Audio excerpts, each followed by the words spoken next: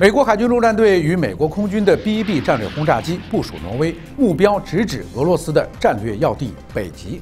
这一拳究竟会打在俄罗斯的软肋上，还是会打在钢板上呢？方老师，呃，我觉得首先它肯定不会是打在俄罗斯的软肋上，因为这个北极这个领域的争夺，至少从目前来看，它肯定不是俄罗斯的软肋，而恰恰相反，它应该是俄罗斯不多的可以跟美国、跟北约好好的。掰扯一下，争锋一下这样一个领域，我们也都知道，俄罗斯这些年来在北极的投入是非常之大的。你比如说新组建的北方的这个司令部，和其他几个战略方向同级别的这么一个高规格的战略司令部，比如说它专门组建的用于北极地区作战的作战部队，甚至包括地面的北极部队啊。所以你看，可以看它是动作频频。你能说这是它的软肋吗？至于说会不会我们讲事物走到另外一个极端，踢到那个所谓的钢板上，这就要看美国包括。他领衔的整个北约在这个领域持续的投入，能够投入到什么样的情况了？如果他的长期的持续的投入，我就在这儿跟你死磕，